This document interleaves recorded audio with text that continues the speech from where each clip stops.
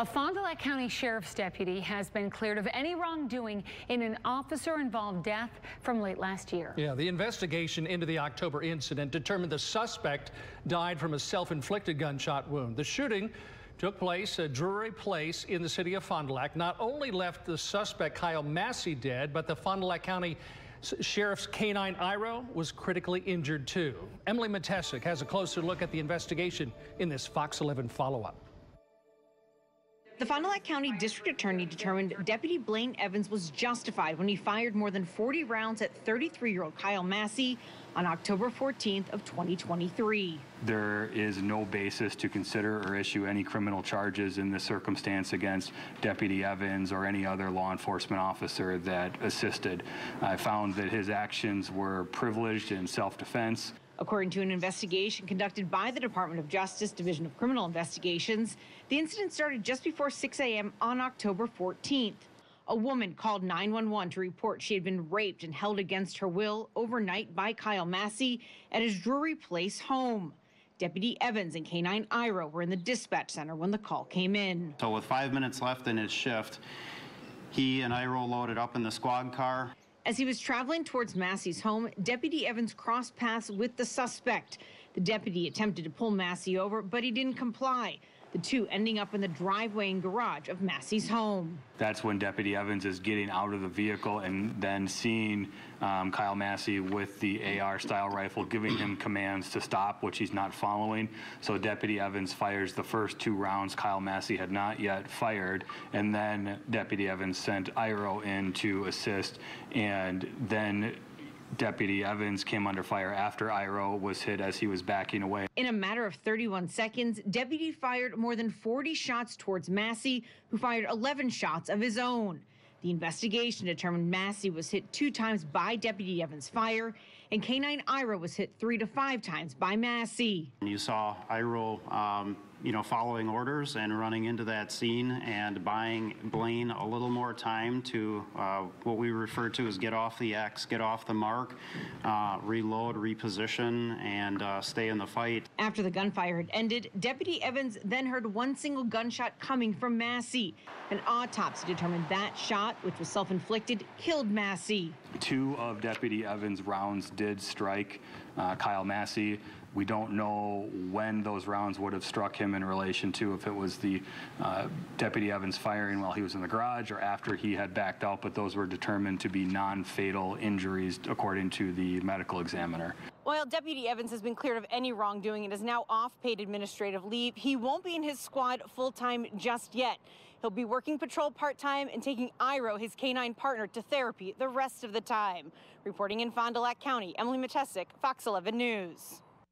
Now, the story of this injured canine captivated the Fond du Lac community, and support came in from across the region. Following several surgeries after the initial injuries, the dog was released from the hospital just six days after the shooting. Since then, Iro's had follow-up procedures. He continues to go to therapy several times a week. The canine has not yet been cleared for duty, but the sheriff is hoping that it'll be back to work with his partner, Deputy Blaine Evans, by the end of the year. In fact, when he uh, came into my office like he often does last week. He was nose in the air, sniffing around. He's not going to find drugs in my office, but uh, he's he's in there smelling for drugs. He's doing his thing, and I think honestly, if Iro could talk, he would say, "What's the fuss? Let's get back to work. Let's catch some bad guys. Let's find some drugs. Let's get back on the streets." And that day, I'm confident will come that uh, Iro will be able to do that. Prior to being injured, Iro had been working for the sheriff's office for about a year and a half. Well, good afternoon. My name is Fond du Lac County District Attorney Eric Toney. I apologize for those of you in the media that we kept waiting. I had a meeting with the Massie family beforehand, wanted to make sure we were able to answer as many or all of their questions as possible before this was released to the public. Uh, certainly, uh, no doubt this has garnered a lot of attention with the circumstances as well as K9 Iro, uh, who was injured. And so what the role of the district attorney is in these officer-involved death investigations per statute is to determine if a crime was committed and if uh, anyone should be prosecuted, in short. And one of the things we had hoped to have this review done a lot sooner given some unexpected medical issues and a busy caseload, it took us a little longer to finalize that review. Uh, But I am here to share the results of the officer-involved death investigation from October 14th of 2023 in the city of Fond du Lac. Um, in the report that has been handed out, you'll see that um, Deputy Blaine Evans, his name is in that report. He had consented to his name being released in that report. And I think that's something important to share because in Wisconsin, with the passage of Marsy's Law, uh, crime victims do have the right to privacy, and that would extend to a law enforcement officer who may be the victim in an officer-involved uh, death or shooting circumstance, as we have here. So I think that's a credit to Deputy Evans for allowing even greater transparency for his name to be included in the report. Uh, So ultimately, we had a, a significant amount of information to review, and the Department of Justice will post that uh, in redacted form on their website because DCI uh, completed this review, and Special Agent Jay Yurgis was the lead on that.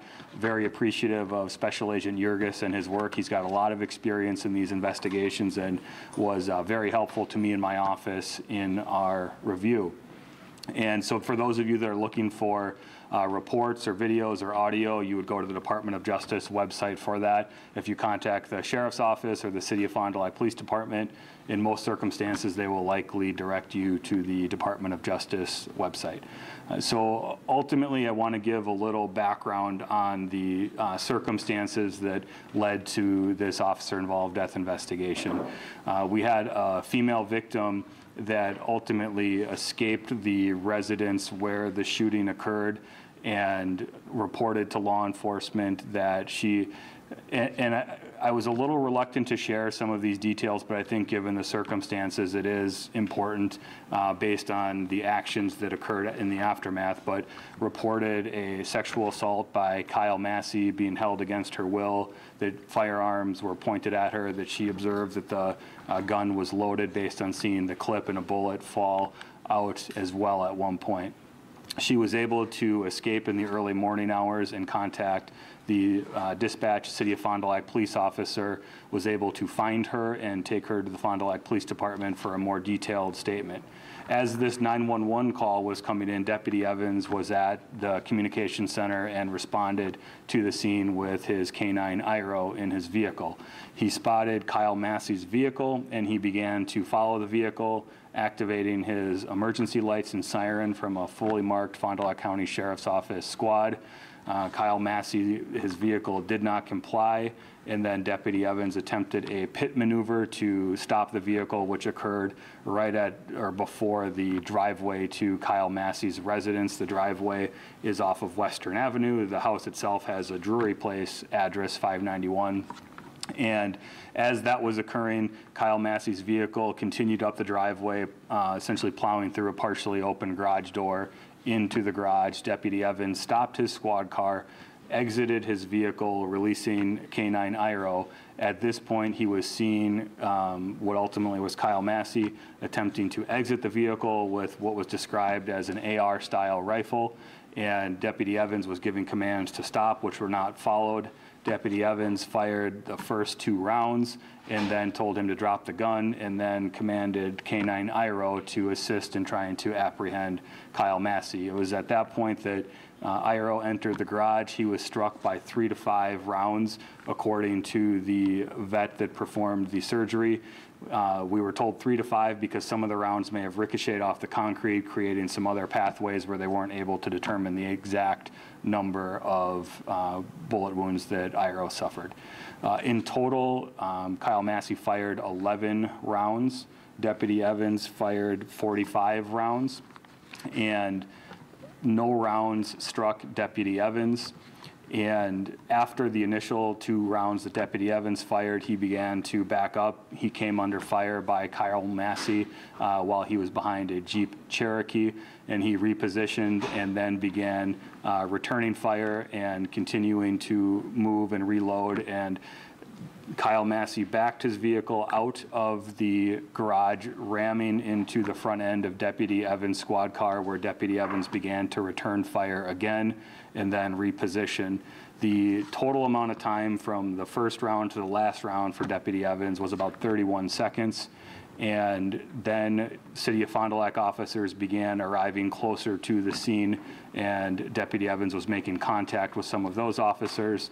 And on numerous body cam footage uh, from the audio or squad, you can hear a single gunshot at 6:13:01 a.m., which was determined to be the self-inflicted gunshot, which ultimately caused the death of Kyle Massie, according to Dr. Corliss, the medical examiner. Two of Deputy Evans' rounds did strike uh, Kyle Massie. We don't know when those rounds would have struck him in relation to if it was the uh, Deputy Evans firing while he was in the garage or after he had backed out, but those were determined to be non-fatal injuries according to the medical examiner. And uh, ultimately, what our job as a district attorney is to look at and determine if any criminal charges should be issued. And there is no basis to consider or issue any criminal charges in this circumstance against Deputy Evans or any other law enforcement officer that assisted.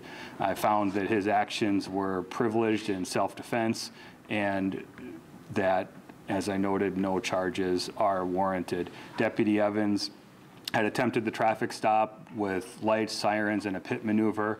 Uh, Kyle Massie was refusing to comply with his commands and then exiting with a long gun. And Deputy Evans was privileged to use self-defense at that time because his beliefs were reasonable that Kyle Massie was attempting to get into a firing position on Deputy Evans based on those circumstances, the nature of the call that came out, and there will be no charges that were issued.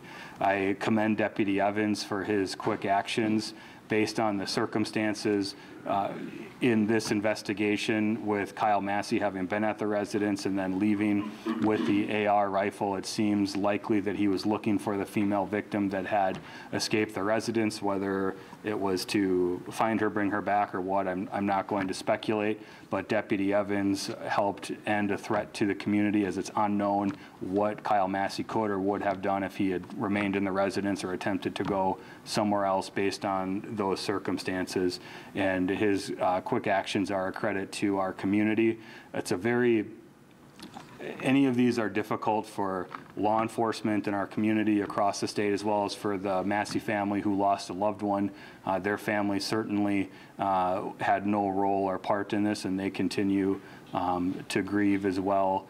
And this has certainly gotten a lot more attention because of the injuries to um, Iro, but I, I think it's important that we also think about Deputy Evans and his quick actions. These are actions that uh, law enforcement with traffic stops that they do on a routine basis and never know when a circumstance might rise to this level, whether they have information that it's a gun call or not.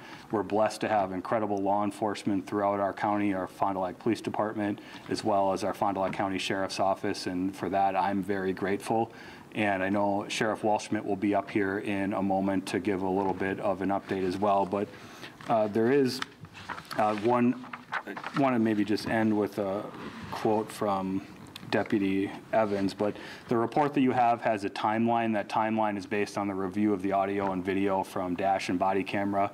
Happy to answer any questions if anyone has any, but uh, after the self-inflicted gunshot, there was a significant effort to get medical care to uh, Canine Iro, and I think the sheriff will probably talk a little bit about uh, some of those efforts, so I'll let him do that. But uh, prior to that uh, surgery, Deputy Evans said to Iro, you saved dad and we have to save you. And that's exactly what uh, our law enforcement did. Uh, Charles Beckford, City of Fond du Lac police officer, was instrumental in those efforts. Credit and thanks to the Grand Chute Police Department as well, and very grateful um, for the condition that Iro is in based on the updates we've seen from the sheriff's office as well. So uh, I don't have anything else to add at this time, but if anyone has any questions, I'm happy to take them now. Otherwise, I'm going to invite Sheriff Waldschmidt up and we can take some questions after that.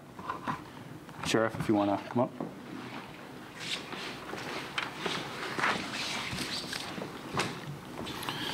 Thank you, everybody, for your continued interest and support. And I, I want to highlight a couple of the um, circumstances that District Attorney Eric Toney spoke of.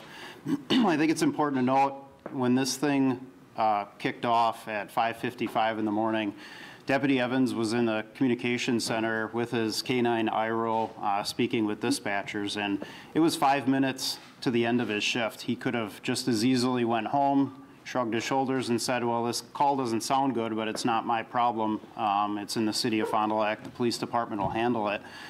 But it goes to the character and integrity of Deputy Evans, who saw the change in the posture of the dispatcher, heard the change in her tone of voice when she took that 911 call from that brave victim that uh, sustained quite a, a, a severe and brutal night, and who thankfully was able and brave enough to break free from her captor, who held her against her will all night long, and uh, she made a run for it.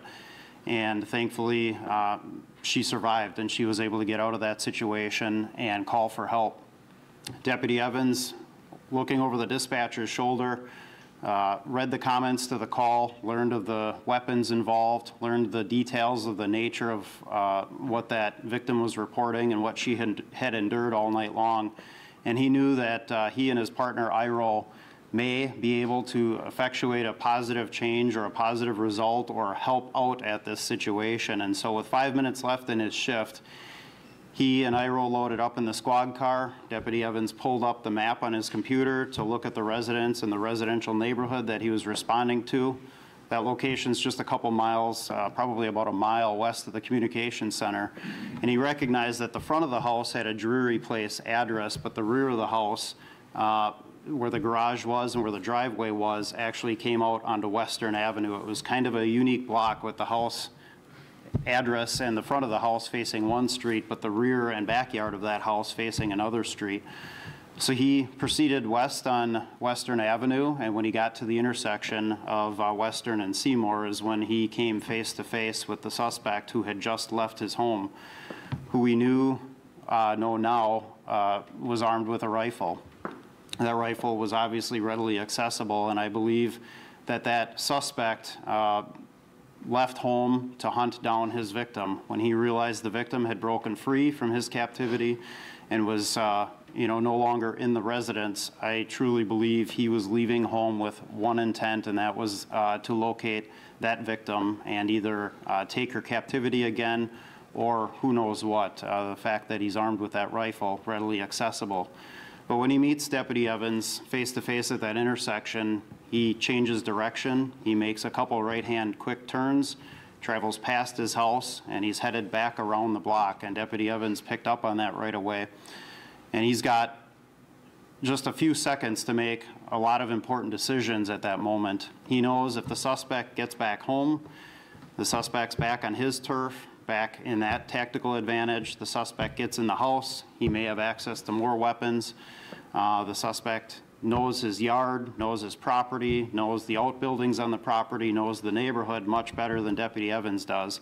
And Deputy Evans uh, follows that suspect around the block, activates his emergency lights, activates his siren, attempts a pit maneuver, um, and the suspect continued to not follow those uh, visual cues and audible cues uh, in an attempt to stop him. That suspect had a lot of opportunity to change the course of the direction of his fate, and he failed to take all of them. He could have stopped when the lights went on. He could have stopped and surrendered when the siren went on. He could have stopped when the pit maneuver occurred, and instead he decided to travel into that garage, crash through a closed garage door or a partially closed garage door, and immediately get out of his car swinging an AR-15 in the direction of Blaine Evans.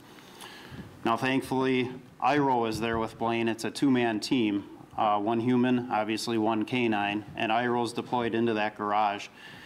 And that distraction of IRO coming at the suspect, I'm sure he did not anticipate a dog or a canine entering the garage. That distraction gave Blaine time to return fire, time to reposition, time to get to better cover, and undoubtedly saved Blaine's life and prevented further rounds from that rifle coming toward Blaine. And instead, the suspect had to track and follow uh, Iro as Iro entered the garage to apprehend him. We know the rest of the story. The suspect, at that moment, again, had a decision. He knew the deputy was outside. He knew the deputy was firing on him. He knew the canine was sent in time is collapsing and he's got decisions to make. He could have surrendered at that moment, but he chose to get back in the car, armed with the rifle, put it in reverse, crash back through the garage door, and crash into the front of the squad car that's blocking him in the driveway. Thankfully, that squad car was there because I fear to even speculate what would have happened if that squad car wasn't there, and now we get this subject mobile, armed with a rifle, already engaged in a firefight with law enforcement. Who knows where this would have led to and where this would have ended and how this would have ended. Thankfully, Blaine had the wherewithal to park his squad there, blocking him in effectively. And Blaine continued to return fire in an attempt to stop the threat, which is what we do. We return fire, we protect ourselves, we defend ourselves in an effort to stop the threat. And as soon as that threat ceases, we cease, and we in fact go into a saving mode, whether that mean in this case, once it's determined that the threat was neutralized, they got him out of the car, the suspects removed from the vehicle, and life-saving measures were implemented. So again, the suspect drives our actions as is very often the case in these deadly force situations. No officer comes to work, no deputy comes to work with the intent on getting in a shootout with anybody. We're always hoping for a peaceful resolution to no matter what the circumstances are that we're working to address. But then we have uh, the suspect's family, and I know they're probably hurting. I know that they don't condone the activity that occurred over the course of that night with that victim. They don't condone the behavior of their loved one and the assault on law enforcement. I'm sure they have a lot of questions, and I certainly can sympathize and empathize with those struggles and the information that they're processing today and thinking about and uh, hopefully getting answers to some of their questions because they've been waiting patiently too for uh, the rest of the story and to know what occurred uh, to their loved one that night. But then there's the rest of the story. At this point, once the suspect's out of the car, life-saving measures are underway for him. Blaine Evans enters the garage to find Iro laying in a pool of his own blood and enter into the scenario Fond du Lac police officer Charles Beckford. Charles had responded from home. He was coming on duty as this event was unfolding, and Charles Beckford did not know that Iro had been struck and was down, shot, and wounded in the garage. And he immediately snaps into action. Blaine is calling out for help. Charles identifies that Blaine needs help, identifies Iro's down, and Charles Beckford is a canine handler as well and has additional training and a med kit specific to canine uh, trauma and treating canine wounds. And so Charlie goes to his squad car, obtains the kit, enters back into the garage, and Blaine and Charles then uh, work feverishly to uh, do the best they can to assess all of Iro's wounds, to stop the bleeding, to pack the wounds, to get pressure on the wounds. And the wounds are many and they're very significant. Iro sustained significant trauma to his chest, significant trauma to his torso, uh, significant trauma to both right legs, and basically his right rear leg was uh, shattered and severely wounded uh, from a rifle round that had penetrated through that leg. And they called in Deputy Michael Viss, who was off duty. He is a canine handler as well, a fellow canine handler with our sheriff's office. And Mike responds from home in his squad car, bringing a squad car without his canine in it, uh, so that we have a kennel to transport Iro in. And as soon as Deputy Viss arrives on scene, Blaine, Charlie, and Iro are loaded into the back of that car, and off they go to Blue Pearl Pet Hospital in Grand Chute. State Patrol assists us on 41, uh, moving traffic out of the way. Grand Chute PD is there at the off-ramp to guide us into the hospital. And at the hospital, there is an amazing team of surgeons and uh, vet techs who are waiting, uh, knowing what, what is coming in and knowing uh, about the injuries that Iro sustained. And they immediately take him into surgery. And uh, by the grace of God, he is, uh, they were able to save him. They were able to get him stabilized. And he is, uh, continues to remain alive that morning when many people did not think that was going to happen just based on the severity and significance of the wounds. At the same time, you've got a community like Fond du Lac uh, already pouring out support. We've got uh, the woman who made art for Iro, who had that posted back at the scene already uh, that morning. Um, you've got law enforcement from all around converging and uh, sending messages of well wishes and, uh, you know, hoping and praying that IRO pulls through this. And IRO, it's hit and miss for the first couple days. We, we did not know if he was going to survive, but uh, there's many amazing stories in here with IRO's recovery. There's a vet tech whose own personal canine, Dwyer, uh, donates blood to keep IRO alive because IRO had lost so much blood. There's this outpouring of uh, community support. Mindy Leitner, again, the uh, artist uh, that drew this mural and posted it on a fence. This mural kind of becomes a, a sign of hope and inspiration through Fond du Lac. And uh, companies, organizations, businesses band together behind law enforcement and behind IRO. And miraculously, through after many procedures over the course of just six days, IRO's walking out the back door of that hospital to a parking lot full of law enforcement and fellow canines and canine handlers on his way to recovery. And he's not back to duty yet, but I'm happy to uh, share that IRO continues to recover, continues uh, to do well. He's been through many procedures, both big and small, uh, and we have every reason to believe he is going to return to work. In fact, when he uh, came into my office like he often does last week. He was nose in the air, sniffing around. He's not going to find drugs in my office, but uh, he's he's in there smelling for drugs. He's doing his thing, and I think honestly, if Iro could talk, he would say, "What's the fuss? Let's get back to work. Let's catch some bad guys. Let's find some drugs. Let's get back on the streets." And that day, I'm confident will come that uh, Iro will be able to do that. And we do have IRO here today. We'll, we'll engage in that after the uh, formal closure of this press conference. You'll have an opportunity to get close-up video of IRO, uh, see some of the scars uh, on, his uh, on his body, some of the wounds he sustained, and uh, ask questions further about IRO. And so with that, um, Again, I can't thank the Fond du Lac community enough, the law enforcement community. The support has been tremendous, and this is not an easy job. The deputies uh, and law enforcement across the county and the state and the country are placed in these no-win situations all too frequently, and Fond du Lac has certainly had its share of no-win situations, and this was just another example of that.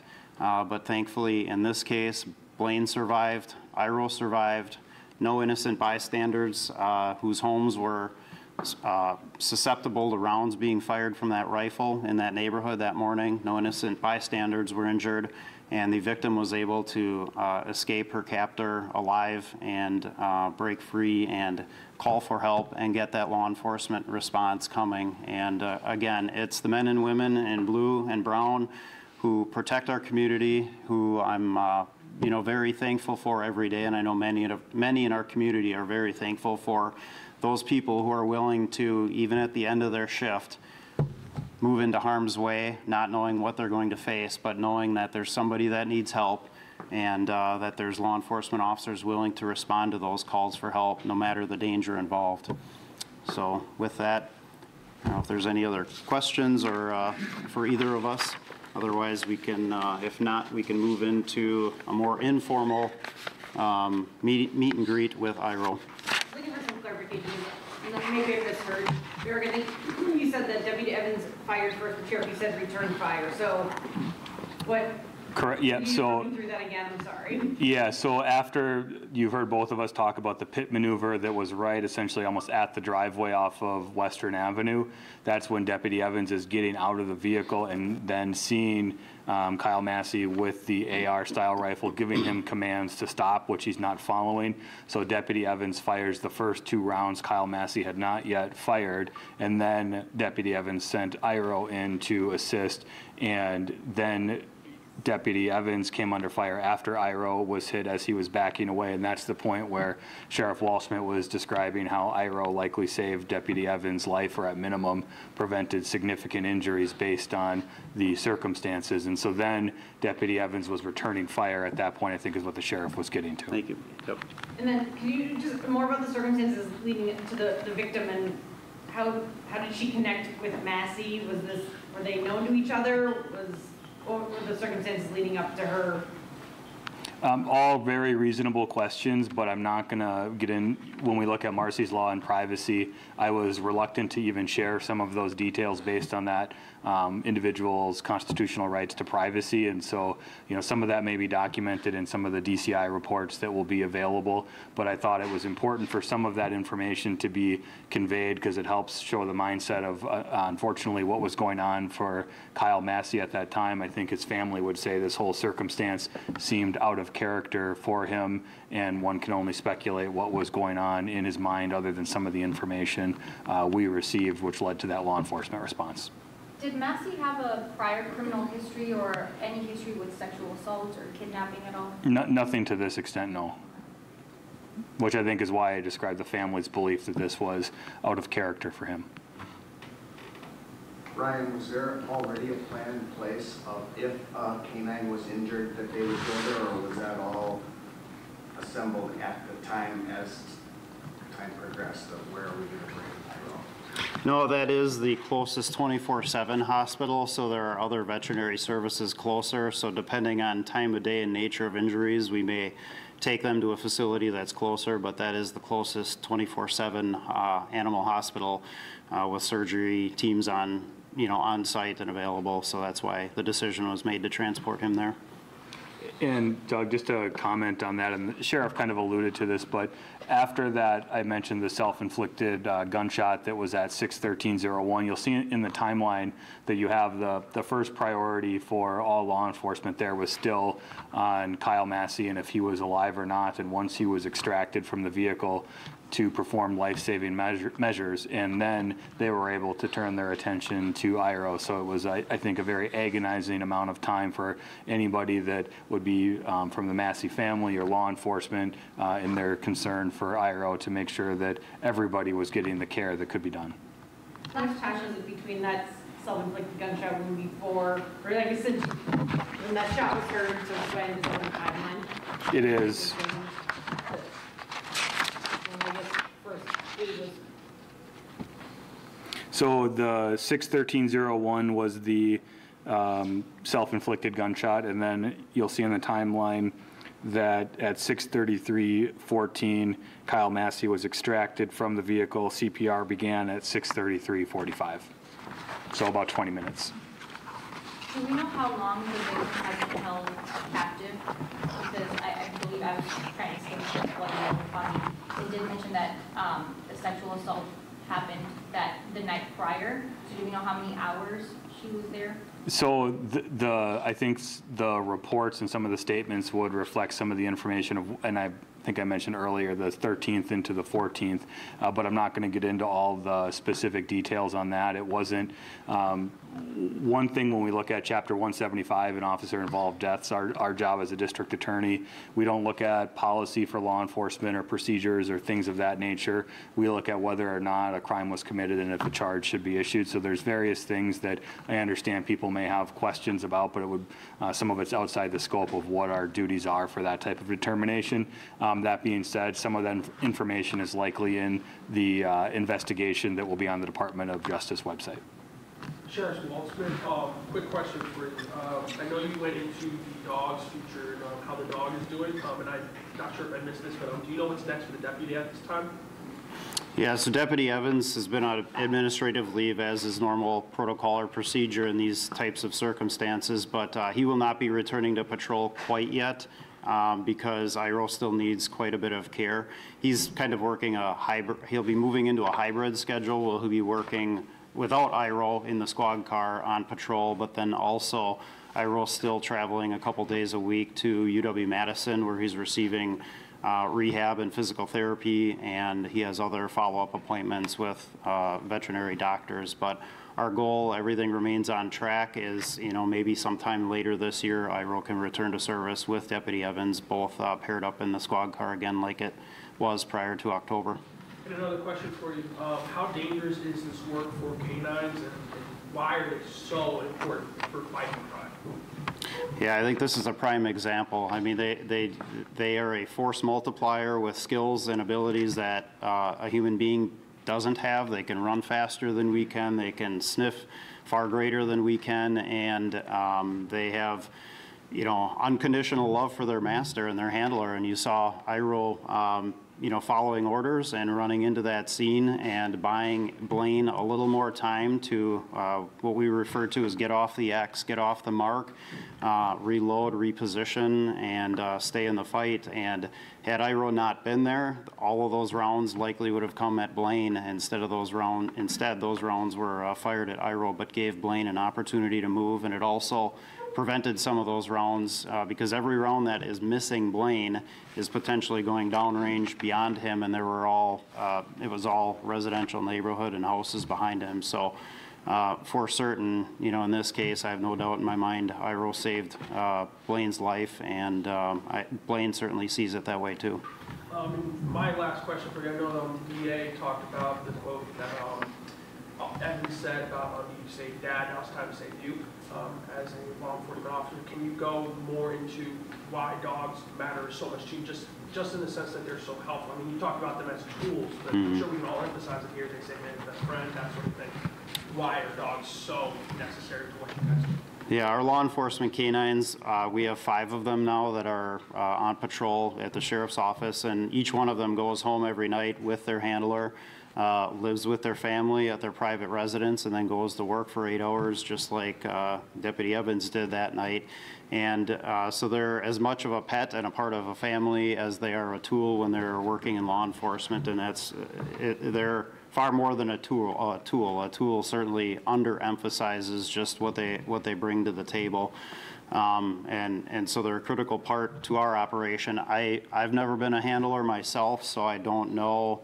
Uh, and fully understand the bond that a handler has with the canine, and I don't think anyone truly can unless they are a handler or, or have experienced that bond because they're a uh, truly a, a two-person or two-man squad car uh, when they're out there on patrol. That is their partner, and they're attached at the hip and uh, go on every call together, as was the case here, and uh, work in tandem and in conjunction with each other to help each other and save each other, and that's exactly what happened here.